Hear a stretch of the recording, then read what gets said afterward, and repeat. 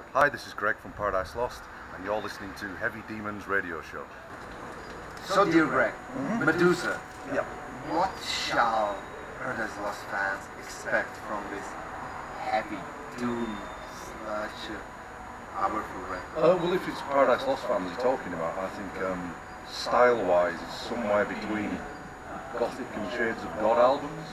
I would have said. I don't know if people would agree, but um, but obviously brought up to date with the things we've learned over the years, you know, I guess. Uh, so yes, it's a doom album, I would say. Um, you know, there's quite long songs on there, I guess. The opener is eight and a half minutes long. Um, it's, uh, it's quite riff orientated, you know. Um, and Nick is doing a lot of growling on this one. There's only two songs that he's singing clean on. So, you know, so it's, uh, yeah, it's an interesting one. I've noticed that Nick's uh, lyrics are less personal and more like uh, oriented towards like um, uh, general things like religion or uh, uh, Global, things. yeah, global things uh, and the, the, the, the differences between like living nowadays and like in the past with ancient gods uh, and Yeah. religious. I think it's just a sign of the times. Yeah. You know, it's um, there's more inspiration in what's happening in the world at the moment than there is. You know, it's affecting everybody. So it's um, Very different from 97 and yeah. So there's a lot to write yeah. about, I guess. You know, um, and these things affect you personally as well. So obviously there's a the- the- it's, it's a big topic. You know. Yeah. And uh, uh, why did you choose to uh, do uh, Doom Sludge Records in 2017? What do you recall about like the 80s and what do you miss? About the 80s. Um, well, weirdly, the, the, no, yeah, I do. The, the scenes were very small. People remember. People talk about them, in the, you know, like I don't know, like the UK scene with um, us and Bolt Thrower and Napalm Death and Carcasses. It was very small. There was only a handful of people in each country, and we used to trade tapes with each other, and it was kind of very personal. And it, it's it's if, if we see each other these days, we're all still good friends. All those bands are still good friends, you know. From Entombed to Walter to whoever, you know, Samael, any of the bands that were around then are still friends. So it was kind of a very small, close scene, and I, I miss that. It's so big now. There's so many bands. It's like, you know, if I was a new band today, it kind of annoyed me that you couldn't have that close knit community, you know. Uh, but the reason we did a, a, a Doom record now is more to do with uh, Beneath Broken Earth from the last record. It was the last song that we wrote for the for the Plague Within, and um, we just really loved it. When we did it, we thought, oh, we should do an album like this. And uh, do you find any differences uh, between the reaction from the audience, uh, like in America and in Europe, to your music? Uh, yeah, yeah. Well, it depends where in Europe. Um, Okay. Northern Europe and Yeah, I mean UK audiences are kind of similar to American audiences. Uh, Southern Europeans are different to Northern Europeans. You know, I would say Southern Europeans, you know, Italian audiences, Spanish audiences, Portuguese audiences, very similar to South America. yeah, Uh, Mediterranean. yeah, yeah, yeah, yeah. Yeah, it is. It's that passion, I guess. You know, um, and I guess Northern European audiences are a little bit more reserved. But that's just that's probably nature, you know, more than anything. else. It's cultural. Yeah, yeah, yeah, yeah. I mean, the British are very reserved. I'm very reserved. So you know, if I go to a show, I kind of just stand there. You know, so. Oh, What do you recall about the the late 70s, early 80s in the UK with uh, you know punk rock, new wave, crust scene? Uh, well, my older brother was um, a punk in the late 70s and a skinhead in the early 80s. And he had a huge vinyl collection, and I used to go in his bedroom and steal his records and play them. Yeah, yeah, and that's how I got into music. So the first music I heard was like hardcore punk Hardcore punk. Oi music, skinhead music as well. Street like that. Yeah, yeah, yeah, stuff like that. And um, then as a, you know, I was a, I was a young kid then. I was 10, 12, and then as time went on to the mid 80s, the uh, the punk scene kind of got more metalized. Yeah. Bands like Broken Bones and uh, Antisect and uh, English Dogs, they were becoming more metal.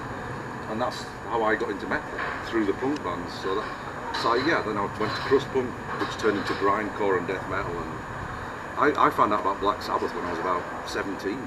You know, most people were into it way before that, but you know. So I and I got into Black Sabbath through Candlemass Epicus Doomicus Metallicus. Ah, okay. And Trouble. through you know. through the ears. Yeah, yeah, yeah, yeah. So I did it back to front with Yeah, metal, yeah, yeah. you know.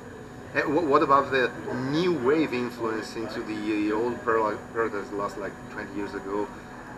Uh, one second uh, post, uh, you were very influenced by the British new wave. Uh. Yeah, yeah, yeah, yeah, Sister yeah. of Mercy. Well, even, even on our Gothic album, Yeah. in like 1990, we were influenced by stuff like that, but it just wasn't production-wise. It didn't show, you know. So we, you know, a song like Eternal from the Gothic album was very much Sisters of Mercy influenced, but done in a metal way, you know. So we've always had that kind of influence because that scene in the UK was in the same town that we towns that we grew up in, Yeah, Leeds. yeah, you yeah, know, yeah. all the goth scene and uh, and that new wave scene was all around us.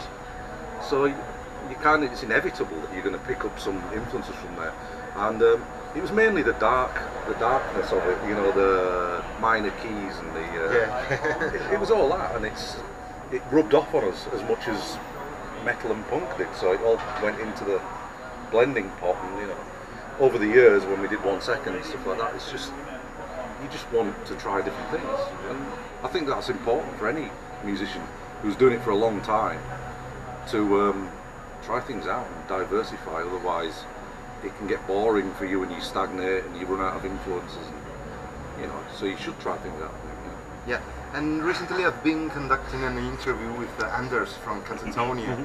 and when I asked uh, who as a, who is your main inspiration as a guitar player, he told me Greg.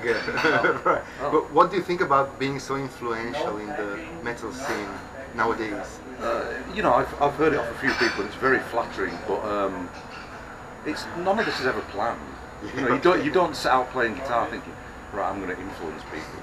You don't know. You're just trying things out. And I'm a self-taught guitarist, and I learned guitar just by listening to different records. And I had very diverse musical taste.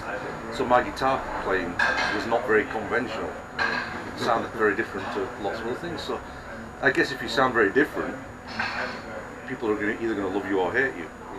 So I guess the people that were influenced by me liked liked it, and obviously there's a lot of people who think I'm not, you know. So, so you know, it's just um, it's just if, if, if you try if, you- if you stand away from the crowd, you're going to get attention somehow, good or bad. And are you planning like a tour now? Uh, we're planning it. Um, we don't have the dates yet, but we know when it's going to be. We know um, the beginning of October, right up to Christmas, is going to be all of Europe and Australia. So we do all of Europe for eight weeks and then go to Australia for about two or three weeks. So it's, that's all those three months. But, H- How will be the artwork of Medusa? well, that's a good question because we are again, it's something that we are going backwards and forwards. And while we're out here, we're just getting emails every day with this, and we're trying to do something, um, something in, in a little bit colourful, something in purples and stuff like that, and uh, maybe a little bit retro, something like Born Again by Black Sabbath, something something around that, but then linked in with the title somehow as well. So probably snakes. Yeah. What like uh, final message and greeting would you give to Italian fans of Paradise Lost? thanks for the support over the years. I mean, a long time. It's 30 years next year, Yeah. and I didn't even realise, and we were re- reminded of it yesterday. And uh, you know, it's a long time to still be coming and doing interviews and people being interested. So I feel very fortunate Yeah, that we have fans that uh, are still interested. Do, do you know any Italian music? Uh, Yeah, yeah. One of my favourite extreme bands, uh, extreme music band, is uh, The Secret. Yeah, yeah. I, I, I was on tour when they played some shows in England, ah, okay, they played over there. and uh, I wanted the shirt, so I had to one of my get one of my friends to buy me a shirt at the show and uh, bring it back for me. So yeah, I, I really like them. I think it's a great blend of um, black metal and hardcore, and uh, it's really interesting stuff for me. Greg from Paradise Lost.